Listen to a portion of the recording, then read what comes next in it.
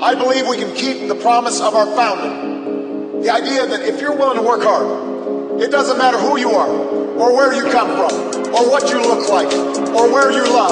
It doesn't matter whether you're black or white, or Hispanic, or Asian, or Native American, or young, or old, or rich, or poor,